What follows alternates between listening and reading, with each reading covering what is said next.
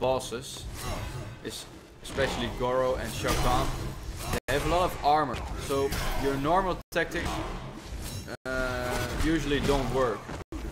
Like what Applesauce is trying to uh, push him to the hole, but it does work because uh, Shao Kahn can armor out of it.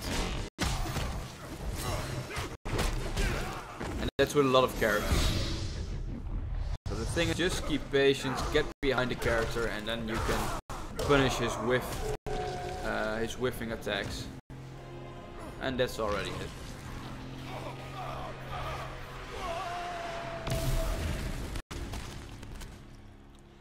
Scorpion.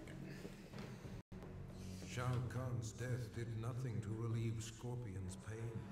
The loss of his kin still weighed heavily upon him. For reasons he could neither explain nor understand. Was drawn to the home of the Shirai Ryu.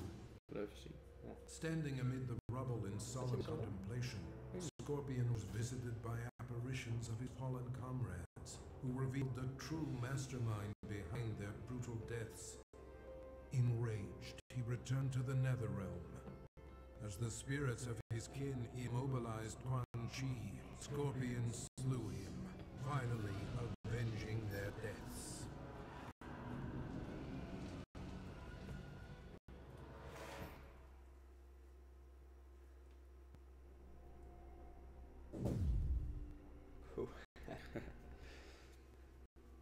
So this is actually a terrible ladder for us. Normally we do a zero zero, zero matches, zero rounds, and damage around a thousand.